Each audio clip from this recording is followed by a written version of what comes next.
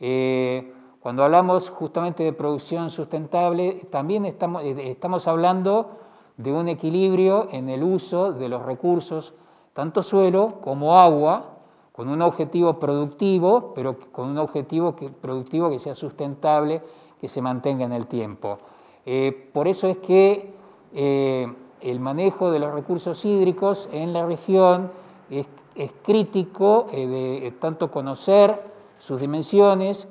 y conocer cómo funcionan los sistemas hídricos en, la región para evitar externalidades negativas cuando se eh, altera de alguna manera el, equilibrio hidrológico a escala de cuenca y a escala de lote. Lo que estamos hablando es que todas las obras, todos los trabajos, todas las labores que se hacen en un lote impactan no solo dentro de ese lote, sino fuera del mismo, dado que el sistema hídrico contiene a, eh, eh, contiene a más de un lote normalmente que está en producción. Eh, estamos trabajando nosotros en tratar de generar esa idea de, de que lo que uno hace, tranqueras adentro, impacta no solo adentro, sino afuera de la tranquera y por lo tanto impacta a los vecinos, impacta potencialmente puede impactar en las infraestructuras de caminos,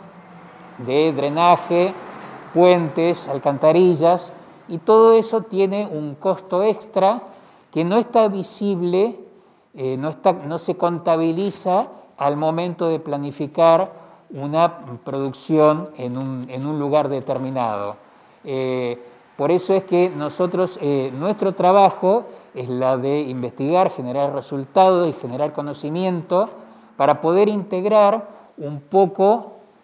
al recurso hídrico dentro de lo que es la producción eh, agropecuaria de la zona, de modo tal que todas las cuentas del agua también formen parte de las cuentas de la producción y de esa manera también que, estén las cuentas del agua dentro del el mantenimiento de todas las infraestructuras viales que hay dentro de los partidos que hay, eh, de esta región.